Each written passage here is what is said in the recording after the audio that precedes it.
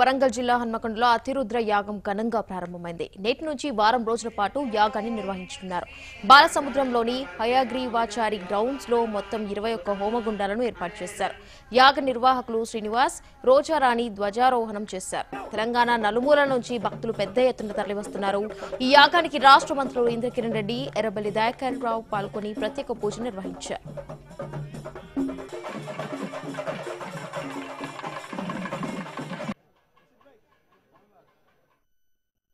తెలంగాణ దిశగా పయనించే ఈ యొక్క రాష్ట్రంలో మరి ఏదైతే కాళేశ్వరం నుంచి నీళ్ళు అక్కడ మరి కాళేశ్వరము దేవాలయంలో పూజలు జరిపి మూడు సంవత్సరాలు పూర్తి చేసి వాళ్ళ తెలంగాణ రాష్ట్రం అంతా కూడా కోటి ఇరవై ఐదు లక్షల ఎకరాల మాగాని తయారు చేయడానికి సంకల్పించినటువంటి యొక్క యజ్ఞము.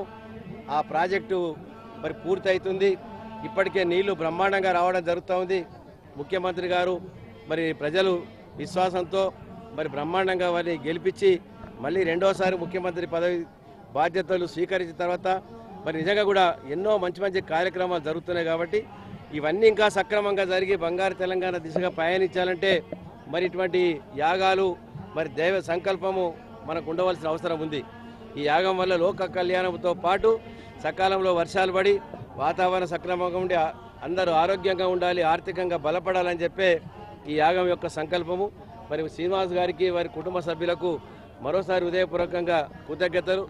ఆ వెయ్యి స్తంభాల గుడి యొక్క ఆ ఈశ్వరుడి యొక్క ఆశీర్వాదం వల్లనే మరి ఈ యొక్క యాగం జరుగుతుంది కాబట్టి భద్రకాళి అమ్మవారు ఈ ప్రాంతంలో ఉండడం చాలా విశేషము.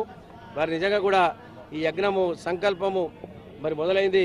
ఈ యజ్ఞము పరిపూర్ణంగా జరిపి పూర్ణాహుతికి మరి బ్రహ్మాండంగా జరగాలని మా దయాకరణ గారి ఆధ్వర్యంలో ఎంపీ గారు శాసనసభ్యులు ఎమ్మెల్సీలు అందరూ కూడా ఈ యాగంలో పాల్గొని జిల్లా పరిషత్ చైర్మన్లు అందరు కూడా ఆశీర్వాదం తీసుకొని లోక కళ్యాణార్థం చేసే దానికి మనందరం కూడా మరి భాగస్వామ్యులమని చెప్పి మరి కోరుతూ శ్రీనివాస్ గారికి మరోసారి ఆ భగవంతుడి యొక్క కృప